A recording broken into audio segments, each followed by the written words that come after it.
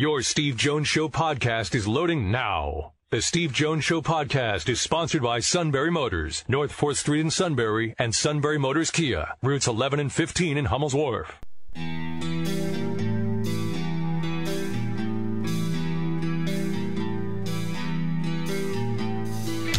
Sports talk where your voice counts. This is the Steve Jones Show on News Radio 1070 WKOK. Now, from the Sunbury Motor Studio, here's Steve Jones.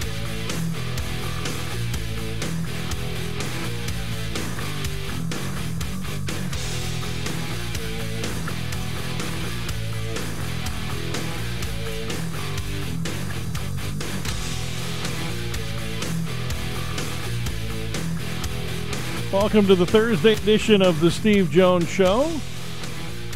Steve will be joining us from the Sunbury Motors studio here in just a few minutes. Got some interesting uh, information today. ESPN saying that the longtime NFL quarterback Ryan Fitzpatrick has announced his retirement. This guy's played everywhere, just about, except Pittsburgh. He hasn't played in there, or Philadelphia for that matter. But uh, the guy who uh, brought us Fitzmagic for 17 NFL seasons uh, is now calling it quits. Here's his numbers: started 147 games, threw, throwing for 34,990 yards, 223 touchdowns, 169 interceptions. Began his career in the seventh round as a seventh round pick, I should say, of the Rams in 05 he played for Cincinnati, Buffalo, Tennessee, Houston, the Jets, Tampa Bay, Miami, and Washington during his career. This guy has a whole closet that is full of hoodies, shirts, hats, and other team gear that he was given over the years. Spent most of his career uh, with Buffalo uh, in 53 regular season starts over four seasons with the Bills uh, went 20 for 33 in that span. Uh, and and also, as Steve said many times, I still think has the highest Wonderlic score of any player that has taken the test. He had a season-ending uh, hip injury in the second quarter of the Commanders' season-opening loss to the Chargers in September. Had to go through uh, arthroscopic surgery and uh, basically, you know, kind of ended it. Signed a one-year, ten million dollar career or ten million dollar deal with Washington in March of 21. But you know, many of us rem- remind uh, are, are reminded of his time with Buffalo, and then thought, okay, well, you know, he's been a career backup for the most part. He's probably going to be done now. And then he just continued to, you know, play for teams like the Jets and the Miami Dolphins had a stint as a starter there for a while, and then uh, ending his career, as it would appear, in Washington. Uh, he attended the um, uh, Bills AFC wildcard playoff win over the Patriots in January. Uh, watched that from the stands. Uh, and uh, according to the one report, posed shirtless in freezing temperatures in a strong wind. Makes me want to question his Wonderlic score a little bit, but so the Harvard grad uh, and maybe the smartest guy to ever play football uh, is now calling it quits. So uh, th- that was the newest information of the day. Phillies actually got a win last night. I and I didn't have to stay up till eleven to watch them blow another lead, uh, but it was nice. And, and Schwarber actually hits the game-winning long ball. Uh, there's a guy that's been rather disappointing, hitting about a buck 85 this year. And, you know, you start looking at the Phillies and start looking at that lineup going, how in the world is this lineup not hitting? Talked about this a little bit on Monday. How in the world does this lineup not hit? And then I started looking at it. And I started looking through it. And I'm like, you know what? One of the problems is they're doing a lot of first pitch swinging. And when you do first pitch swinging, you know, that's not always the best pitch. In Little League, it's a different story. You know, where you're coaching Little League, you teach the kids to swing at the close pitch because that first pitch may be the best pitch you see all, all at bat. In Major League Baseball, it's not that way. Uh, and and they they're swinging at some real questionable pitches, and then I see a lot of foul outs, a lot of pop ups and uh, you know, I, I start to wonder a little bit. You know, is it a Girardi issue? Is it the lineup? Is it a hitting coach issue? I, I don't know. I mean, the, these guys should be hitting the cover off the ball. And last night, missing Segura, who's out for about 10 to 12 weeks, and Harper sitting out, they still end up winning the game. I don't know. I can't figure the Phillies out. Maybe we'll talk about that a little bit later on as uh, Steve joins us from the Sunbury Motor Studio here in just a moment on News Radio 1070 WKOK.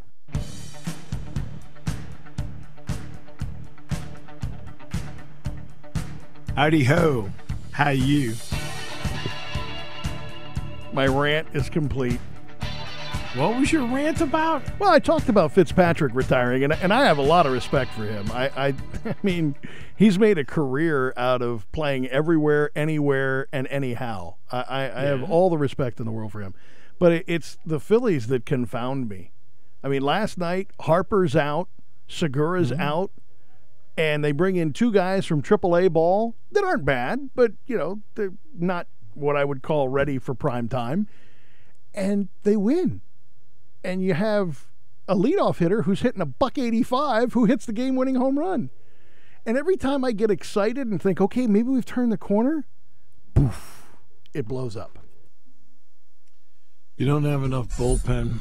Agreed. It's, I mean, and that's it's been a constant theme for the Phillies since about let's say 2010. I was going to say 2009, but you're right ever mean, ever since ever since the the series.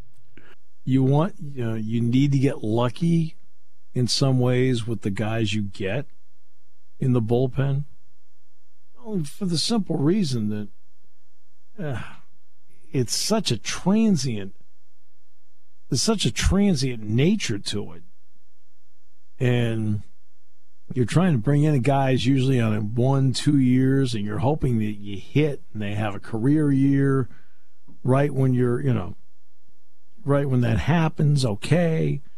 And the Phillies haven't had that. They haven't had the guy, you know, or two. And it's not just one. You need to have two guys minimum that have in that bullpen area that have career years, you know, or close to career years. You, and the Phillies have it. And part of it's luck. Well, Knebel was supposed to be part of that, but instead, you know, this year he's become evil Knievel. Well, I'm, you know, but I'm saying that you're hoping for that. See, all this is hope. Yeah, hope's right? running thin, my friend. Hope is running thin. Oh, look, I know that. Uh, I understand all that.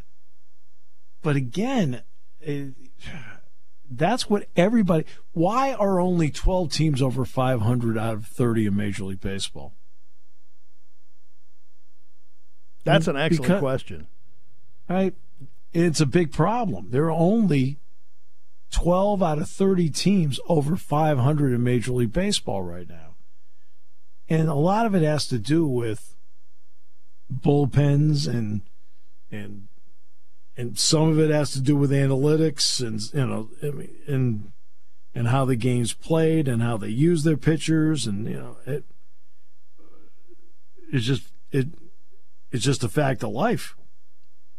And for some reason they can't most teams and the Phillies are among them it is a roll of the dice as to who's pitching the sixth, seventh, and eighth innings for your teams and then close. I mean, who's your closer? You, know, it's. Uh, I think Joe Girardi would like to know that too. But every team's looking. But a lot of teams are looking for that. That's why, for example, I talked about Chris Sale with Boston. He's on the 60 day IL. Okay. He is scheduled to come back in three weeks. And I was talking to Rob Cooper, the Penn State baseball coach. You know, Rob's a big Red Sox fan, just like I am. And I said, I said it's easy for me. I said, I'd look at him and say, you know what? No more starting. You're the closer, right? Because I don't know if he can go seven innings anymore without developing more arm problems. So let's go out and shoot him out there one inning at a time. And yeah, and, and, and let's not pitch him every single day either. one or two innings at a time. Give him at least you know- a day off. But you know what? You get to a point where you're trying to win games and you think he's, quote, your best option. And that's what makes managing so hard. You have to you have to manage the game, you have to manage the situation, manage the game, you got to manage the week, you got to manage the season. And that's what makes the job so hard. As Phillies fans, were we spoiled with guys like Brad Lidge who would come in in the ninth inning? Now, obviously, he had a career year, uh, uh, you know, the, in 08. There's no doubt about that. But it seemed to me every time there was a closing situation, he would come in, whether it was three days in a row, two days in a row, or not. Uh, and it seems now that closers can't seem to close three days in a row.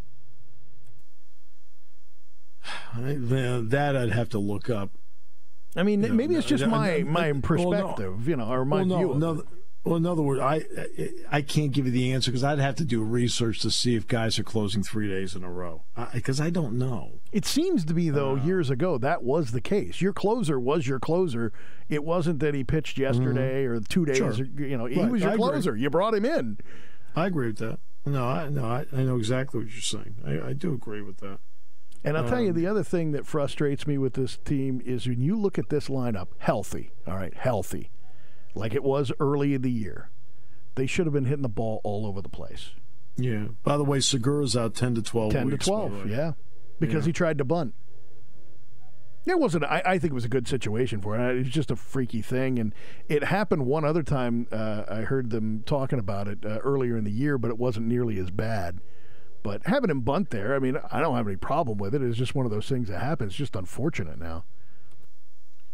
Well, I mean, I asked this question straight out. You know, you got 12 teams over 500 right now in Major League Baseball. 12. That's it. Okay. That's all you have, 12 out of 30. And you know where I think it's being reflected? Attendance. You sit there and you look at the attendance of Major League Baseball right now. So let I mean let's just quickly go through it. First of all, the A's are only averaging 7,500. That's a bad situation out there. That's like a minor league team. Well, Sacramento averages more than they do. Wow. Oh no, Sacramento is a great draw, uh, Kevin. Sacramento is a great draw. Always have been. There, and it's something about that. Or they average like 12, 13,000 a game. I mean, um, but Major League Baseball attendance. Let's see. I- I've got the I've got the numbers here in front of me. Okay. Well, while you're looking it up, I, I always Oh, no, I've got it- oh, you had I've it. Okay, all right. oh, go no, ahead, I've got go it right ahead, here. Go ahead. Right. So somebody said to me today, "Oh, the Pirates swept the Dodgers. Boy, the Dodgers don't want to see the Pirates again." I said, "Well, based on attendance, people in Pittsburgh don't, Don't want to see the Pirates them. again either." Yeah, exactly. Uh, the Pirates have the Pirates are 29th in attendance, averaging 12,138 a game. Okay? they would struggle with a buy one get three free deal. All right, right now, you play 82 home games. So let's just take the 303,000. They've gone 25 games right now. So just triple that. That's 909,000. The Pirates would not get, uh, the Pirates would struggle to get to a million. Now, the Dodgers are already over a million, as is St. Louis and Atlanta. Those three are over a million. So the Dodgers are one at 47.5. St. Louis is two at 38. Atlanta's at 37. San Diego's fourth at 37. The Yankees are fifth at 36. Houston, 32. Angels, 32. Cubs, 31. Giants, 31. The Mets are 10th at 31. The Red Sox are 11th at 31. Colorado's at 31. Toronto's at 29. The Phillies are at 28,108 per game. They're 14th. Brewers are at 28. Then you have a real fall off. From the Brewers to Texas, it's 5,000 fewer per game. Texas is at 16 at 23.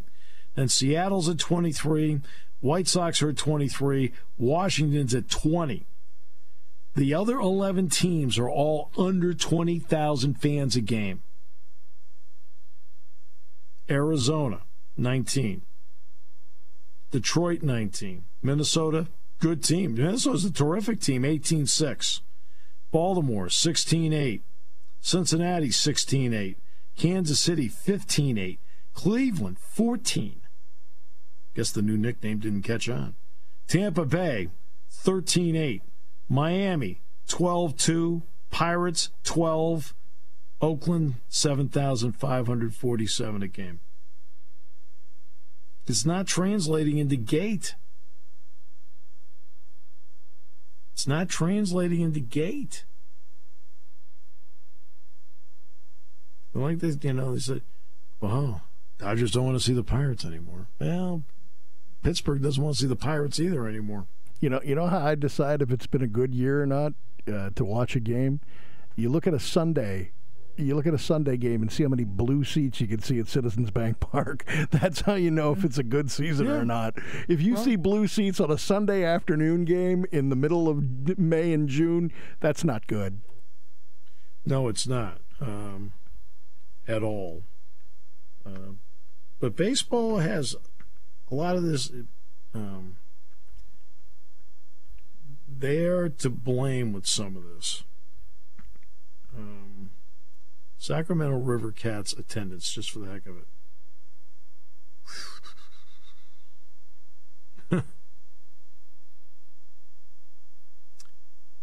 Maybe they River have really good promotions. 9,338 fans a game. Do they have a giveaway every night? I mean, um, no, they just have really good. I mean, you know, it's minor league baseball, so they do certain things. The ballpark seats 14,000.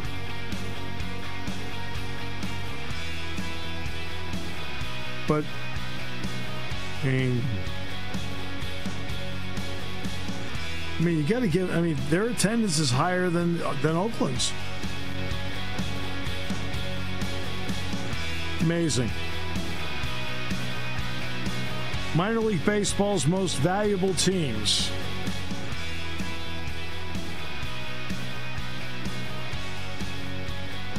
Sacramento is one again, once again the sport's most valuable team, valued at $49 million. And they continue to average over 9000 a game. Average cost of a family of four attending a minor league baseball game is $64.18. There's the deal right there. Hmm. When car repairs get difficult. Well, I I just don't know. Um, me neither. We get good. Sunbury Motors. More than quality new and used cars, Sunbury Motors specializes in complicated auto repair diagnosis.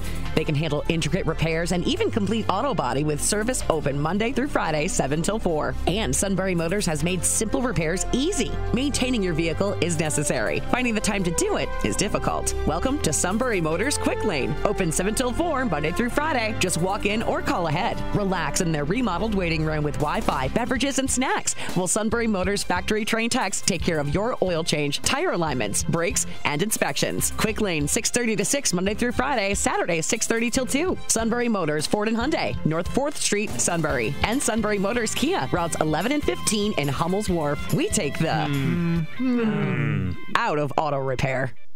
Taking your calls at 800 795 9565. This is The Steve Jones Show on News Radio 1070 WKOK. Now, from the Sunbury Motors Studio, here's Steve Jones. Sunbury Motors, 4th Street in Sunbury, Sunbury Motors Kia, routes 11 and 15 Hummel's Wharf, online at sunburymotors.com. Ford Lincoln Ford, excuse me, Ford, Kia, Hyundai, great new inventory, best of new inventory, and all three brands, Ford, Kia, and Hyundai, with incredible and uh, great warranties. Great pre-owned inventory, all with the Sunbury Motors guarantee, and a great service department that makes it all happen for you. It is, um, you know, inspections, routine, oil changes And uh, of course, anything that's difficult, they can handle all at Sunbury Motors, 4th Street in Sunbury, Sunbury Motors Kia. Routes 11 and 15, Hummels Wharf online at sunburymotors.com. All right. Uh, very quickly, a uh, couple of notes here for you. Uh, these, these will be basketball notes to start with. Moussa Diabate and Caleb Houston of Michigan have decided to stay in the draft and they're leaving Juwan Howard's program. So you've got Max Christie leaving Michigan State for the draft, Kofi Cockburn, Illinois draft, Moussa Diabate, Caleb Houston draft, and um, Malaki Branham and EJ Liddell of Ohio State draft as well. Uh, that's among the uh,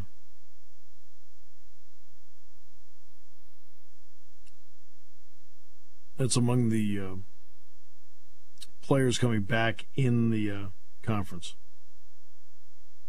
or exiting the conference.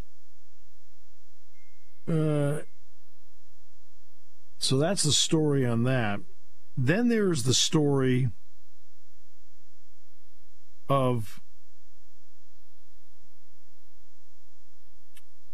uh, Ryan Day speaking to the group of business leaders in Columbus. And the topic was about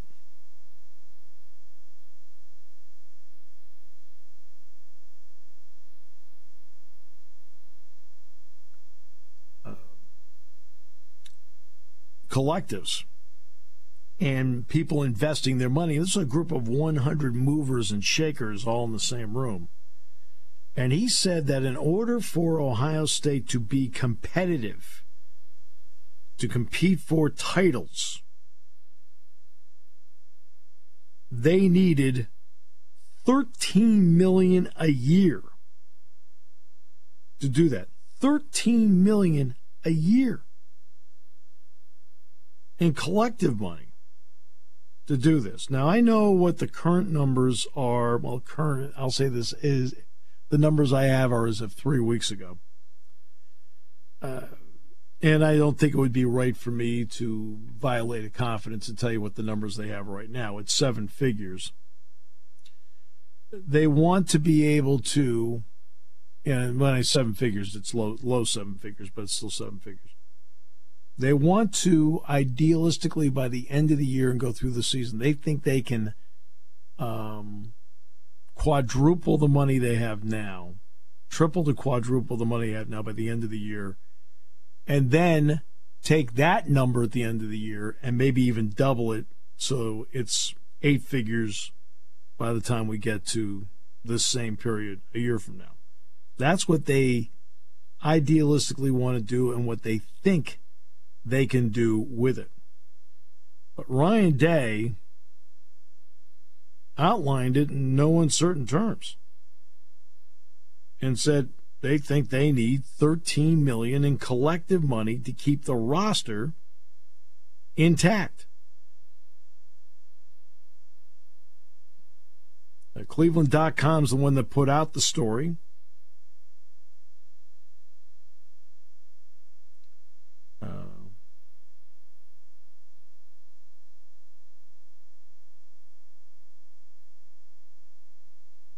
He said uh, Gene Smith said unscrupulous characters are good at what they do. It's always been that way. They said if the speed limit's 45 and you drive 45, a lot of people are going to pass you by. If you're going too fast, you're going to get pulled over. Uh,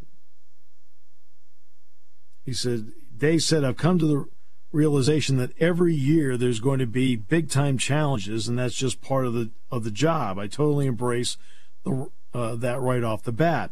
It's been like that every year since, and I get it. There's a there's a lot that comes with being a head coach in college football, and certainly at Ohio State. I think the big thing about in the NIL space that's been the biggest challenge is finding what's right for Ohio State. Right now, there's a lot of risk. The risk of doing nothing is that you fall behind, and we know that's not an option at Ohio State. If you're too far out in front, in front of it, You can also put yourself at risk in another way. In words, he's talking about finding balance and having conversations with so many in the community around what they call Buckeye Nation is really where the challenge has been. But that's what they're talking about. $13 million. dollars. And that's that just gives you a rough number as to what they think it is to work with it. And that is today's quote marketplace.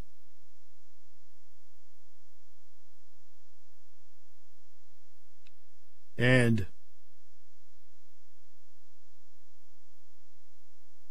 you're talking in the neighborhood of what 150,000 a player. And so what do you do? What do you make the decision on? Do you base the decision on we want to get 150,000 per player or do you want to then get 26 guys and give them 500,000? I don't know.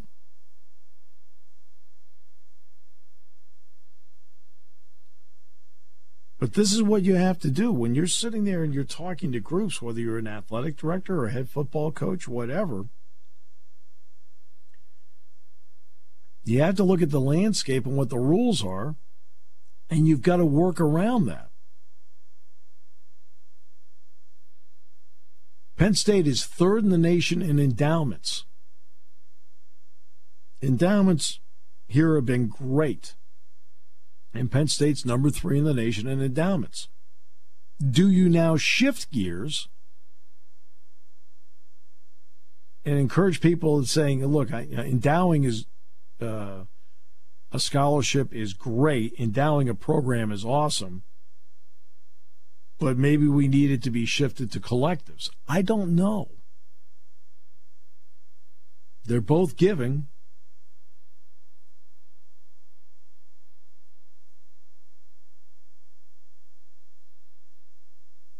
But there's a different way, you know, there's different ways of going about it. And in the collective, the athlete ends up getting some direct money.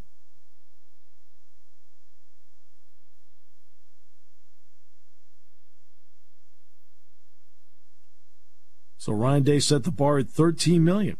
That would include money offered to players by the outside collectives that have already been formed at Ohio State. It would include the what they have what's called an ambassador program that you're doing there. And you and one thing you're not allowed to do, you cannot tie it directly to performance. In other words, hey, you get 15 touchdowns this year, you're going to get more money.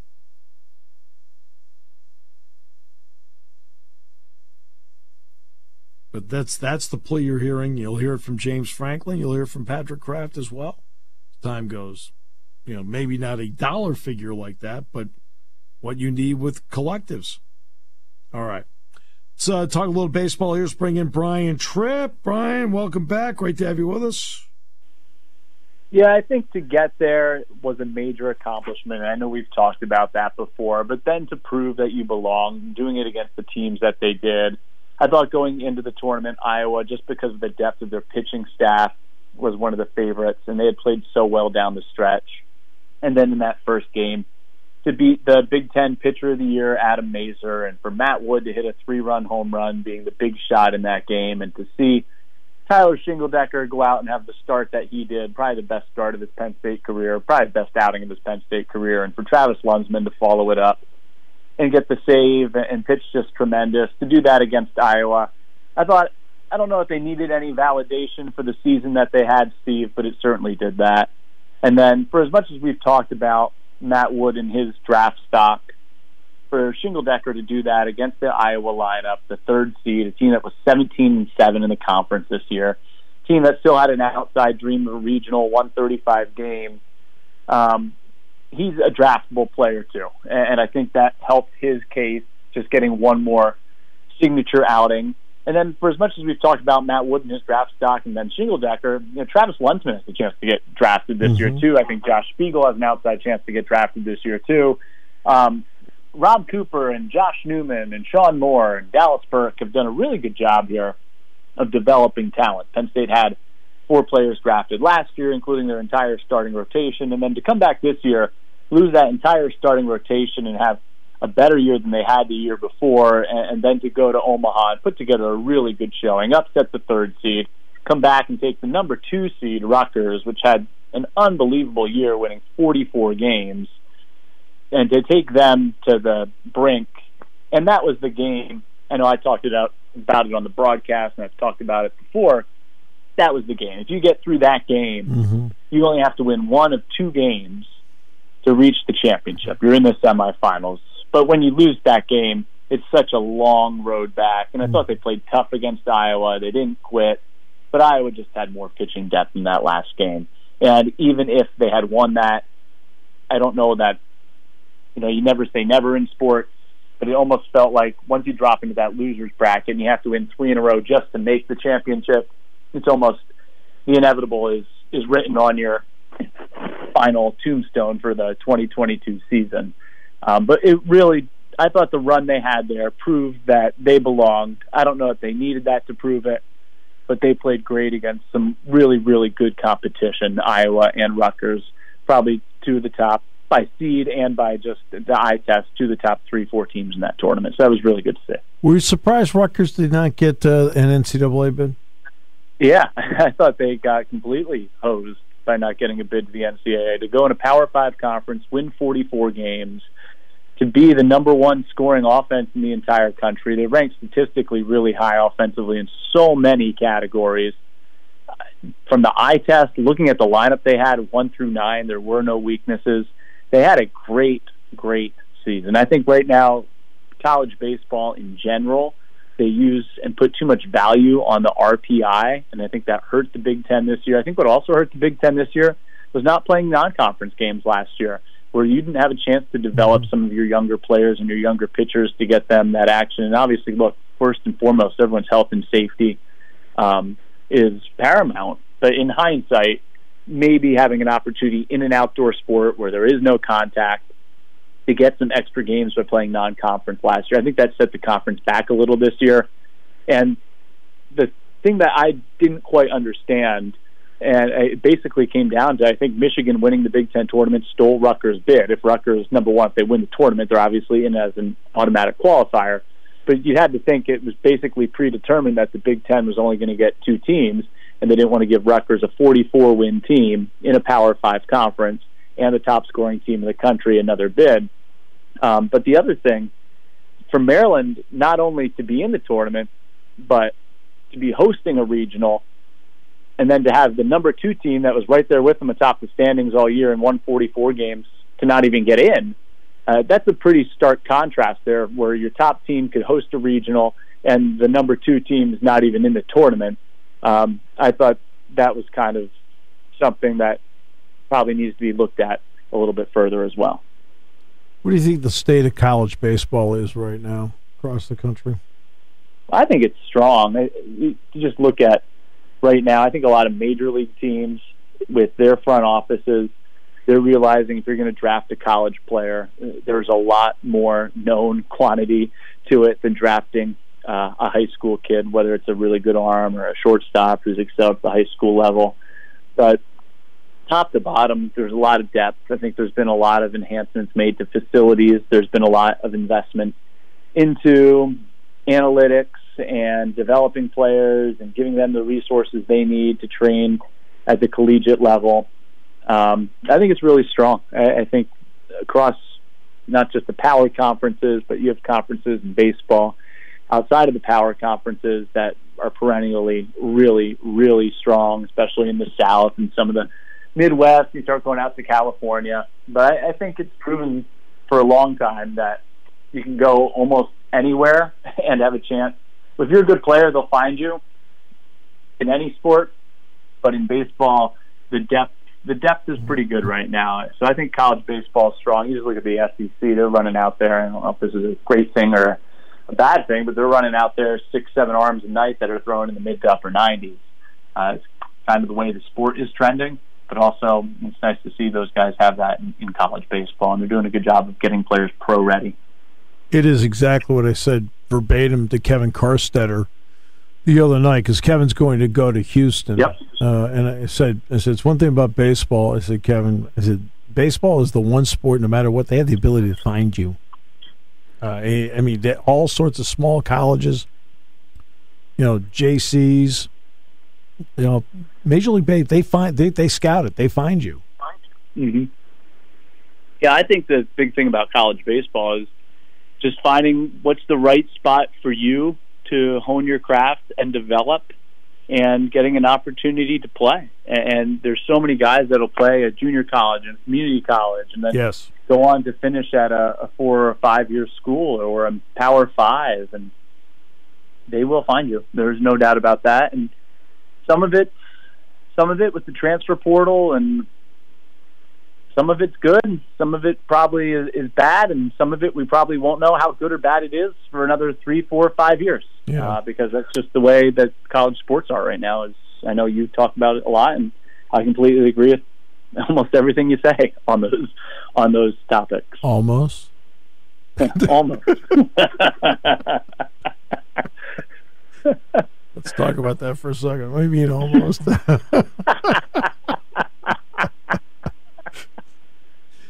Hockey's had hockey's had some signees. Obviously, it, you know that's hockey's a different kind of recruiting. It's you know you know it's, it's a different kind of roster makeup. It's older, but how do you think uh, you know they feel about how things played out in terms of the roster with with ice hockey?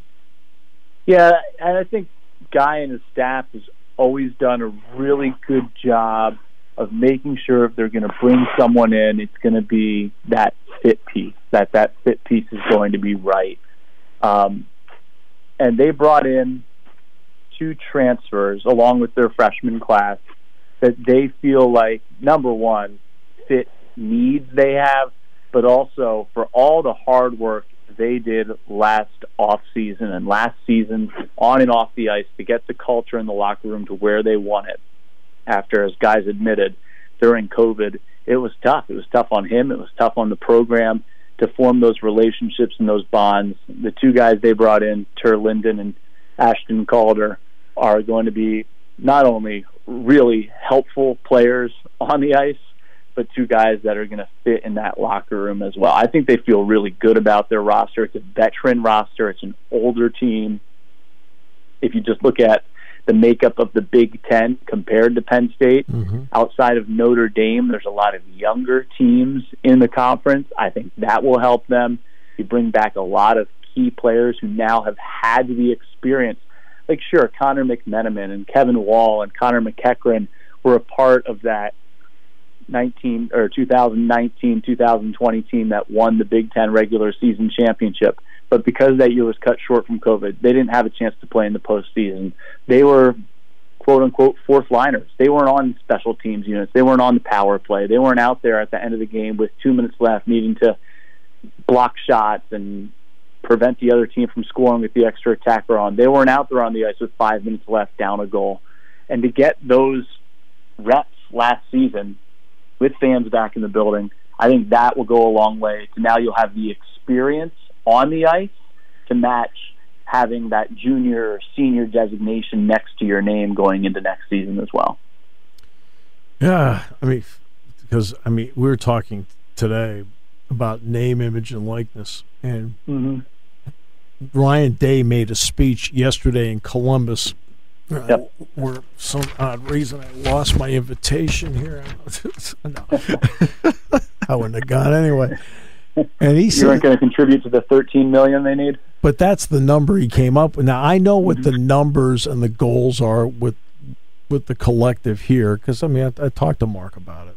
Yep. Uh, you know, and I'm and I I'm not going to reveal what his numbers are, um, but it is the goal is to get it up to okay safely. You can say get it up to eight figures. Mm-hmm. Well, I mean, thirteen million for a roster. I mean, that's where we are right now. I, it's, and you know, well, what about the other teams? I mean, and I said you got to keep your football, basketball, like in the black. Yep. That way, to me, that's where, and then it trickles down to the other teams. And you do a lot of work with with baseball, with men's ice hockey, you know, besides being the you know the, the major domo in football, and you know, and and uh, and I mean, how do they? What do they think about this? When you talk to the players or, or, or to Rob or to Guy, what do they think about collectives with football and basketball and things like that, and about the, about them? Yeah, and I don't want to speak for them, but I think you get the sense being around those programs that, and I've done a lot of podcasts and interviews with women's soccer and men's soccer and softball. There's a cognizance of what is happening but I think those sports, because it is so new and so fresh, and there's so much gray area that what happens with football as that domino continues to fall, or at least the first couple dominoes continue to fall, it's going to be a read and react and a learn what happens from Yeah. football and men's basketball first. Not that, not Mm-hmm. that they don't have to discuss it and think about it and try to use it to your advantage and plan for it, but it's on a much smaller scale. And then once the football domino or men's basketball domino starts to fall, then they're going to learn more from that. Like, yes, it is happening in hockey, it's happening in other sports, but not on the scale that it is from the mm-hmm. jump in football and men's basketball. So I think yeah, you have to educate yourself and learn about it, and you want to be on the forefront and ahead of the curve. But what's happening in football is at Indy 500 speed. Meanwhile, the rest is kind of at the speed you and I would jog a 5K. Yeah. I wouldn't include me in that. That that that, that that'd be going backwards.